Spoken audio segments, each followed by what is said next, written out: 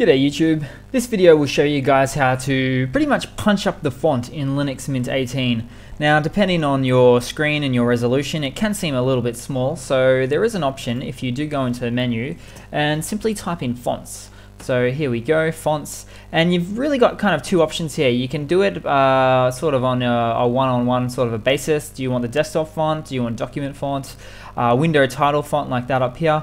Or uh, there's sort of a nearly catch-all or catch most at least uh, option here, which is the font setting, so text scaling factor. Let's bring it up. We can see it's uh, making a few changes here. Should change the menu as well. Yep, makes it kind of big and possibly a little bit ugly and then there we go. You'll notice that it didn't quite catch up with the, the desktop font there, so let's see if we can make that bigger. But uh, yeah, great, no worries. So that's pretty much it. But uh, for me, I might leave it like this. I don't really have a problem with these sorts of things, but someone did mention it and I thought, you know what, just throw up a quick video about Linux Mint 18 fonts. So that's pretty much it, guys. Hope you've enjoyed. Uh, just a little something there for you. Ciao.